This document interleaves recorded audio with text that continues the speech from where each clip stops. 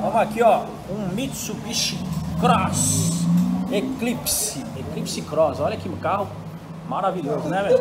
Modelo novo, design. Aqui na frente, então nem se fala. Ó a cara do patrão, ó, a cara do patrão. Aê! E aí, Misha, quer um desse, cara? Eu quero. Quer?